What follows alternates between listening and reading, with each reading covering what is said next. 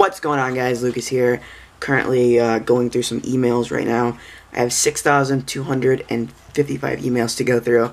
And it's weird, I just have like a lot of weird ones. Like, this is like a note that I made when we were in Vegas. Um, that was like the hotel that, like, where we were at in our hotel. We were in room 5972, I think. I don't remember. But just a lot crazy, crazy notes that I have in here and need to get rid of. What's going on, guys? Uh, about to head to bed as usual. Pretty tired. I we went to Rockford today. Uh, got the cooking show up, which is exciting for me. Um, threw a bunch of stuff away. I have so much stuff. To, I have so much stuff throwing away to do.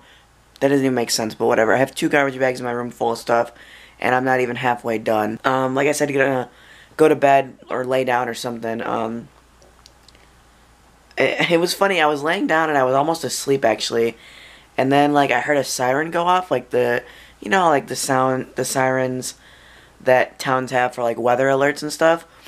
Well, I heard those go off and I was like, well, what? That's weird. And the real reason that stuff would only go off is if there was like some kind of natural disaster or something. I'm like, well, that's weird because it's there's no weather here.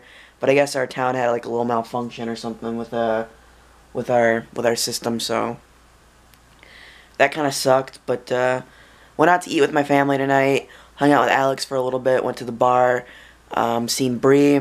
That was kind of fun. Um, and yeah, like I said, gonna come, gonna take a nap or go to sleep, and wake up tomorrow. And tomorrow this is gonna look different. You're not gonna notice where I'm at probably. Maybe I don't know. We're gonna rearrange. I'm gonna rearrange everything. So yeah, it's gonna look kind of cool. I think.